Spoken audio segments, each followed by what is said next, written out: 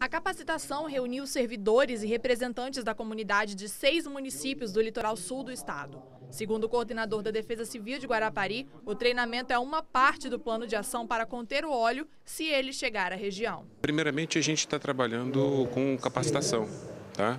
e juntamente com os outros órgãos, com a aquisição dos materiais básicos necessários para manuseio do óleo, caso tenhamos óleo.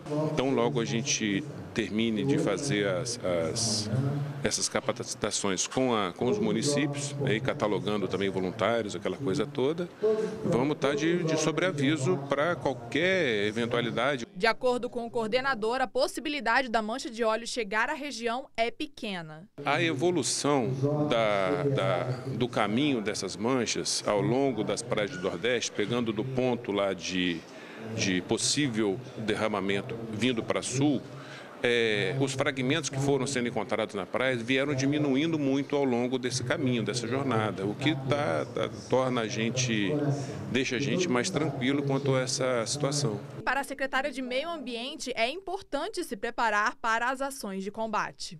Nós temos hoje uma, uma RDS, uma Reserva de Desenvolvimento Sustentável, que é a RDS Concha Dostra, hoje sob jurisdição do IEMA, que ocupa uma área de 953 hectares, a maioria em manguezais.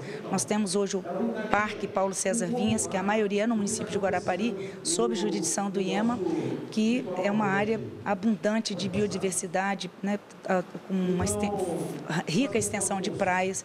Nós temos o, o Parque Natural Municipal Morro da Pescaria, que é um costão rochoso, que assim é hoje a menina dos nossos olhos, é um parque que a gente cuida com muito carinho, que está sob nossa jurisdição da Secretaria de Meio Ambiente e Agricultura Municipal. Então, quer dizer, hoje Guarapari tem todo esse zelo, essa questão dos nossos manguezais, é, é muita biodiversidade. Nós temos hoje uma fazenda marinha aqui com uma produção de 100 mil vieiras, né? bijupirá, ostra, sururu, quer dizer, nós temos que zelar. Nós temos que ter todo o cuidado. Com uma possibilidade pequena do óleo chegar às praias de Guarapari, a secretária de Meio Ambiente tranquiliza a população que quer aproveitar as praias do município neste verão. Queremos tranquilizar a toda a população. Venham para as nossas praias. Vocês serão muito bem-vindos. Nossas praias são próprias para banho, balneáveis. Nós estamos aqui é, apenas por uma medida preventiva.